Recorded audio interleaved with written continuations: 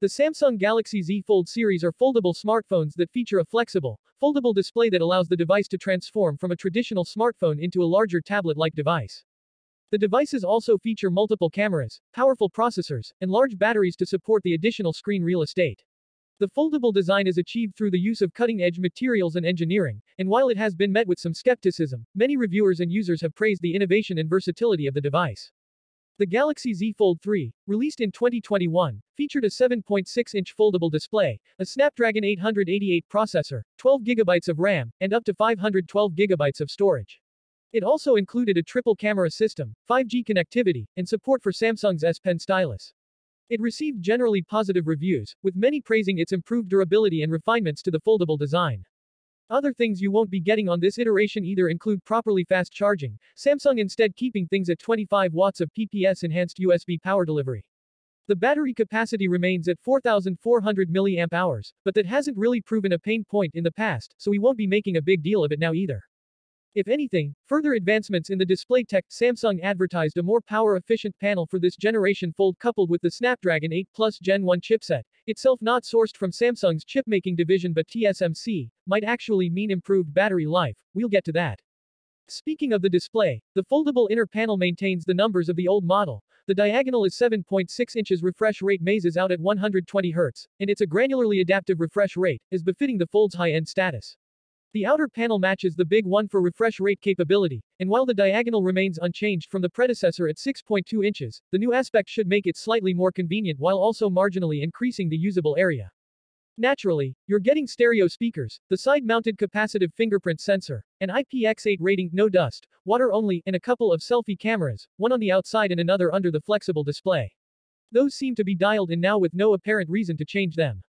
Body. 155.1 x 130.0 x 6.3 mm unfolded 155.1 x 67.1 x 14.2 minus 15.8 mm folded 263 grams IPX8 water resistant up to 1.5 meters for 30 minutes.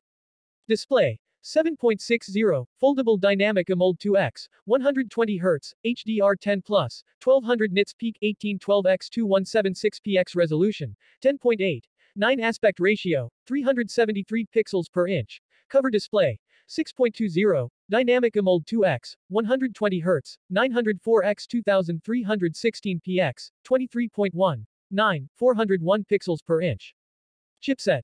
Qualcomm SM8475 Snapdragon 8 Plus Gen 1 4nm octa-core 1x 3.19 GHz Cortex-X2 and 3x 2.75 GHz Cortex-A710 and 4x 1.80 GHz Cortex-A510 Adreno 730.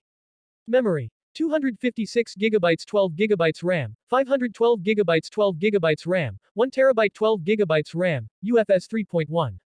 OS software Android 12L, One UI 4.1.1. Rear camera. Wide main 50 MP, f1.8, 23 mm, 1.0 micrometers, dual pixel PDAF, OIS. Telephoto. 10 MP, f2.4, 66 mm, 1.0 micrometers, PDAF, OIS, 3x optical zoom, ultra wide angle, 12 MP, f2.2, 123, 12 mm, 1.12 micrometers. Front camera. Under display, 4 MP, f1.8, 2.0 micrometers, under display, cover camera, wide main 10 MP, f2.2, 26 millimeters, 1 third, 1.22 micrometers. Video capture, rear camera, 4K at 60 fps, 1080p at 6240 fps, gyro-EIS 720p at 960 fps, gyro-EIS HDR 10 plus. Cover camera, 4K at 60 fps, 1080p at 30 fps, gyro-EIS. Battery, 4400 mAh, fast charging 25W, 50% in 30 minutes advertised, fast wireless charging 15W, reverse wireless charging 4.5W. The unboxing experience of the Galaxy Z Fold 4 brings few surprises. The phone arrives unfolded in a large squarish black box with bold, fold, lettering.